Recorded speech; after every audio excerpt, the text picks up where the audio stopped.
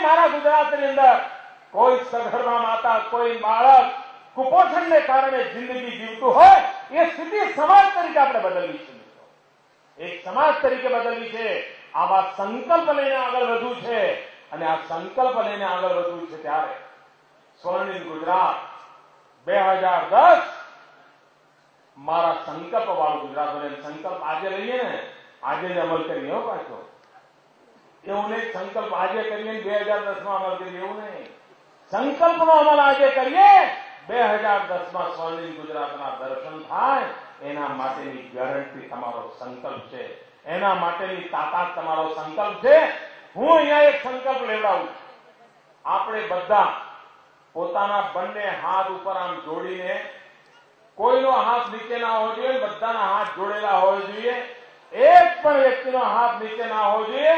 હું જે સંકલ્પ બોલાવું છે બધા બોલીશું હું સંકલ્પ કરું છું કે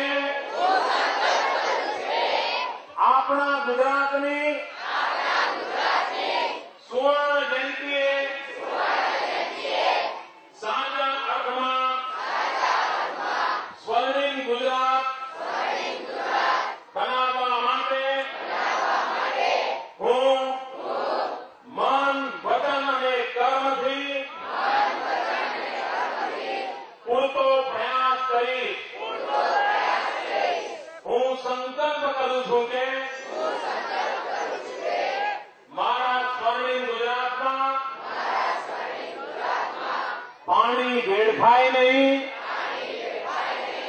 વીજળીની બચત થાય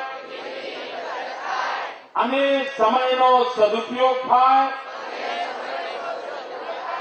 તે માટે નિષ્ઠાપૂર્વક પ્રયાસ કરીશ હું સંકલ્પ કરું છું કે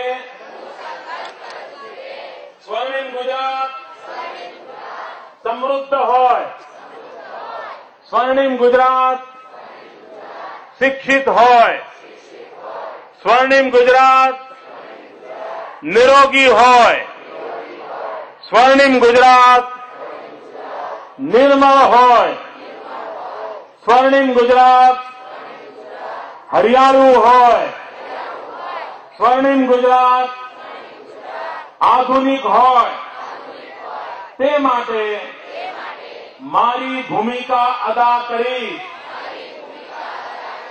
અને આસપાસના નાના મોટા સહુ નાગરિકોની કર્તવ્ય ભાવના જગાડી હું સંકલ્પ કરું છું કે આજે લીધેલા